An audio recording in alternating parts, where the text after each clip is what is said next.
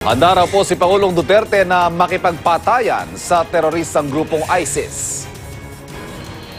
Do not surrender, so I'll kill you. Itong insane ISIS that they would kill.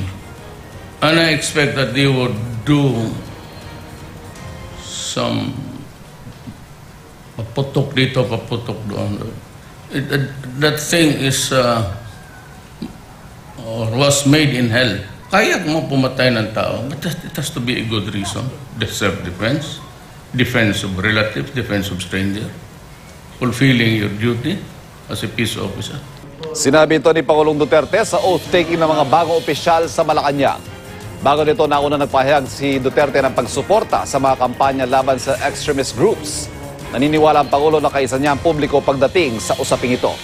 Kinupirma ni Interior Secretary Eduardo Anyo na Abu Sayyaf leader na itinuturong nasa likod ng pambabomba sa Holo Cathedral sa Sulu ay tumatayong emir ng ISIS sa Pilipinas. Nauna na rin inako ng ISIS sa pagsabog kung saan mahigit dalawampu ang namatay.